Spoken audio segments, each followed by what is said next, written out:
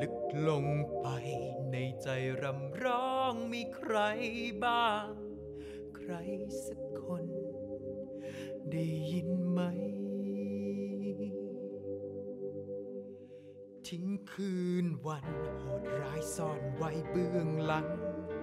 ขอสักครั้งใครจะฉุดรั้งไม่สนใจ จะไขว่คว้าจะลองจะลุกขึ้นมาใหม่ แม้สุดท้าย ต้องล้มลงพ่ายแพ้ เมื่อมีเธอ ที่ตรงนั้น จุดไฟรักร้อนแรงให้ลุกขึ้นมาใหม่เป็นเหมือนแสงนำทาง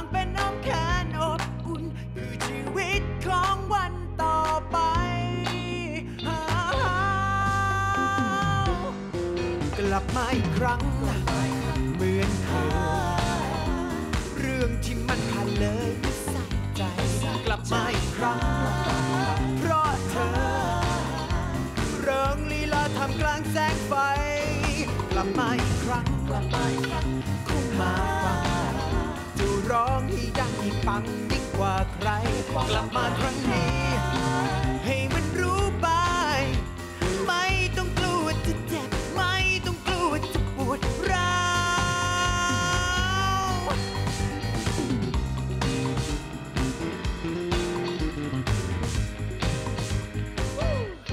สวัสดีครับ นั่นคือโชว์พิเศษที่แสดงว่านี่คือการกลับมาของนางโชว์ตัวแม่ พักหายเหนื่อยแล้วนั่งอยู่ข้างๆเราพี่เดฟฟีแมนสวัสดีคสรับวัสดีค่ะ สวัสดีค่ะ สวัสดีค่ะ ลมอะไรหอบโชว์นี้กลับมาประเดย์ของน้อง โอ้โห ก็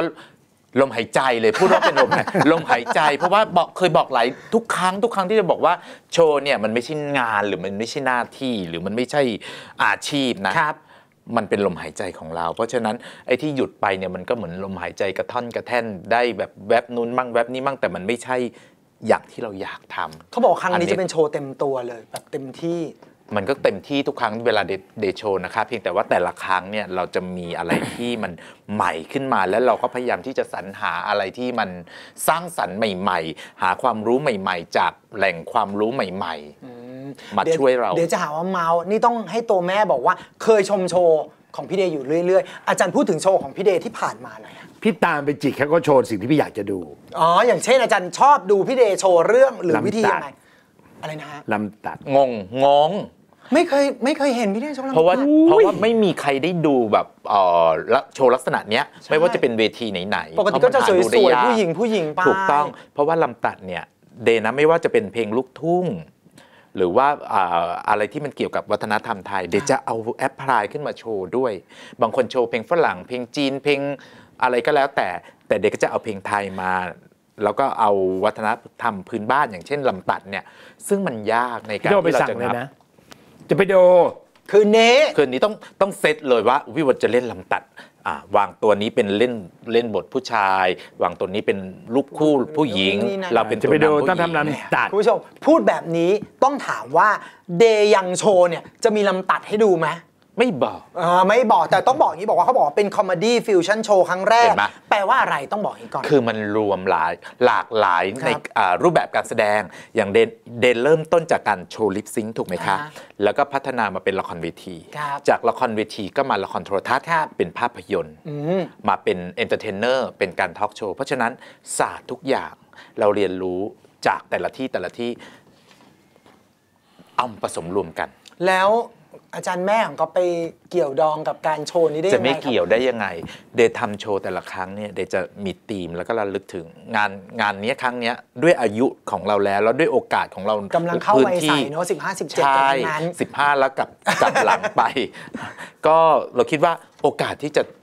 จะทำงานลักษณะที่เป็นเป็นตัวของตัวเองเนี่ยครับมันน้อยมากแล้วก็โอกาสมันก็หายาก เพราะฉะนั้นเมื่อเราทำสักทีเราจะคิดถึงครูบาอาจารย์ อันนี้เราจะเดย์ยังโชว์ก็คือจะย้อนถึงตอนที่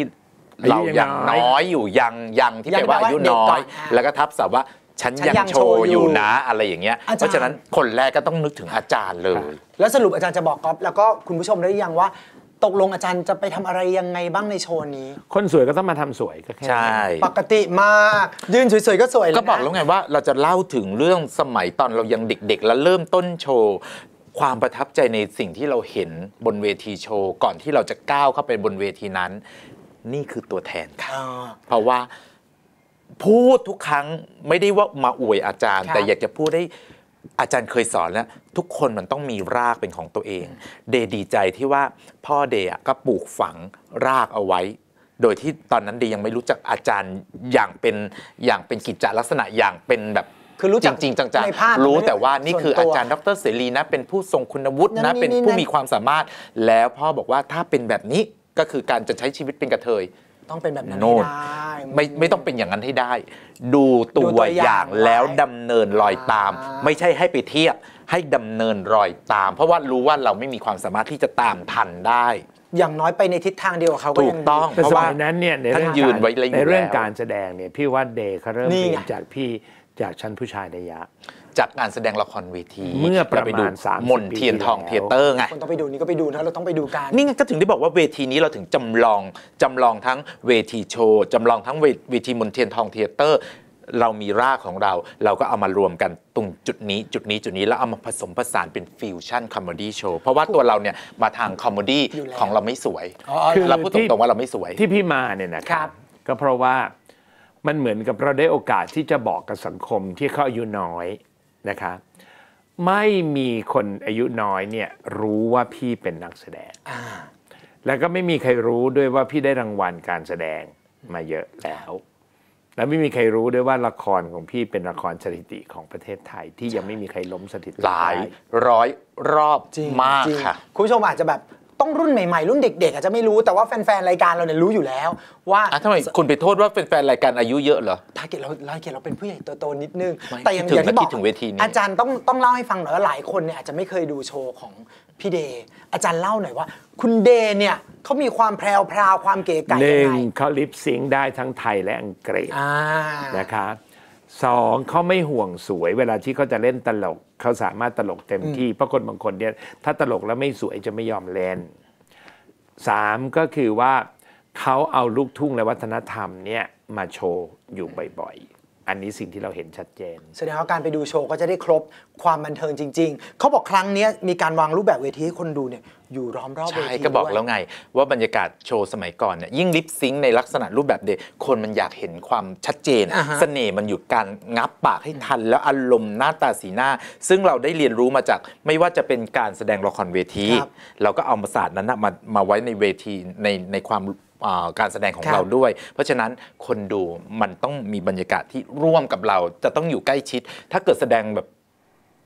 กวนเหนื่อยอะแสดงรอบเดียว แต่ที่นั่งพันพันที่นั่งเลยสักทีเดียวอย่างเงี้ยอ่าเราก็สามารถทำได้แล้วเราไม่เหนื่อยด้วย แต่คนดูสิจะไม่ได้อัธรสเต็มที่เราไม่กลัวเหนื่อย เราอยากให้คนดูได้สัมผัส การสัทำมผัเวสอย่างทีใกล้แบบชิดนี้เนี่ยยากตรงไหนรู้ไหมยากตัวไหนครับอาจารย์ครับ เราต้องอ้าปากให้เท่ากับพลังเสียงที่ออกมา แต่คนที่อยู่ติดกับเราต้องไม่ได้ยินเสียงเรา นี่ไงคือคือศาสตร์ที่ยาก คือถ้าเราอ้าน้อย แต่เสียงเนี่ยนั้นมันอ้อ